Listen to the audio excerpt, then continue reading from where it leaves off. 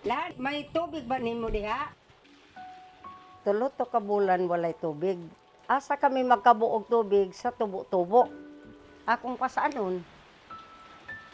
Kahas gayod adlaw-adlaw, oras-oras ka makabo kay ang kasilyas. Lisod. Arang kalisod pag-ayo. Kung waray tubig sa arwasa, mahirap para sa ako.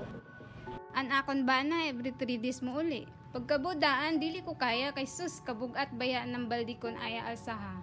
Kung waray arwasa, bagan laong pa, mapungkol gayod ako. Sa una, hapit na magtira kami kay hindi na ginway makagamitan sa tubig. Di kami doon na namo gibuhat.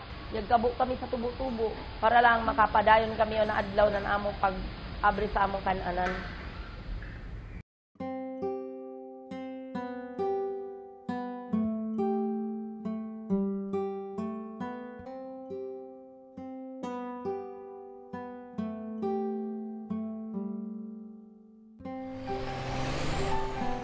Sa umpisa pa ng dry season, isa ka adlaw katulo may magpaawas. Hangtod gyud nga mo hatag lang mig kaisa sa isa ka adlaw. Kay di man pwede na nga gikan sa buntag diretsohon ni mo udto kay wa naman empty naman ang tangke. Lubog naman na i-discharge. yung mga customer pupunta sa opisina, nagagalit. Nakaisip talaga ang mga board of directors na maghanap na talaga ng paraan. Nag-apply kami sa PIF ng loan. Na-approve naman. And the biggest news pa, in-approve yung grant ng Coca-Cola Foundation.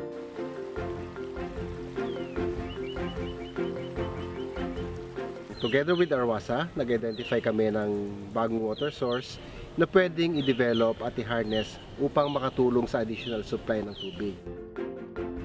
Binuo namin yung plano at nakapag-disenyo kami ng naayon sa kanilang pangailangan.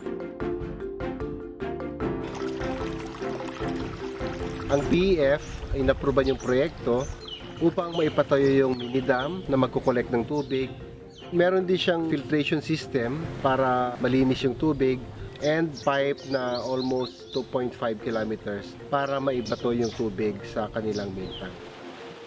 meron na kaming naipot up na kuan bagong dam doon. Tuloy-tuloy na ang serbisyo namin.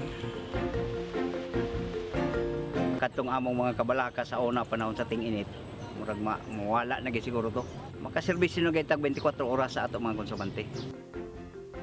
Ang among mga konsumante sa una gani nga nag ah, paputol na karon naginahinay sila pagbalik. Ngayon, sila ay nagbabayad na. Salamat. Magaan na sa kanilang pagbayad. sustainability of the projects is a key consideration in the design and implementation of these water projects. We make sure that there is an enterprise that manages that service and the operations of that enterprise is self-sustaining. They have the appropriate production, management, and financial systems to enable that enterprise or that business to continue. The provision of basic social services, particularly water, is one of the key advocacies of PEF. PEF has invested close to 200 million in various water projects. We have partnered with about eight community organizations to provide safe, affordable water to about 4,500 households all over the country. We work with uh, partners such as the Peace and Equity Foundation to bring water to communities that are quite remote, who are far from the water utilities or the water district, and who really have to walk distances just to fetch their water that they need for everyday use. No? Coca-Cola has this global goal of uh, giving back water, every drop of water it uses, in the production of its beverage.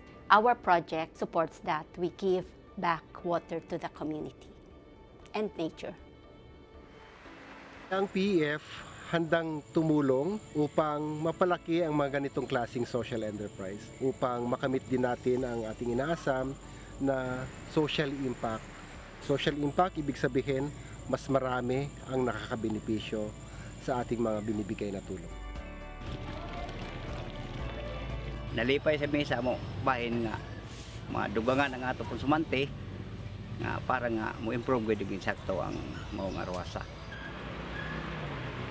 Gusto rin namin matap yung ibang nearby na barangays na mag-enjoy din sila kung ano yung ini-enjoy ngayon ng Arwasa, potable at clean water. Inigid ako restaurant amay yakabuhi sa amin, yakakatapos sa pag-eskwela, kaya kailangan na among income. Sa yun, nasabsaw, paggamit na among kadanan na among inigamit na sa tubig, diretso-diretso na gid kami taon magamit sa tubig nila. Yakatabang gid sa amo ang arwasa. Basta adlaw-adlaw, arwasa gud ang akong ginagamit nga tubig. Usahay, ginainom pa namo kung kakabsan kami ng destaw. Karon ang tubig gigabit ko sa imnon, isabaw, ijabo sa kasilyas, ilaba, idungag, itrapo sa sahog. Tanan. Salamat.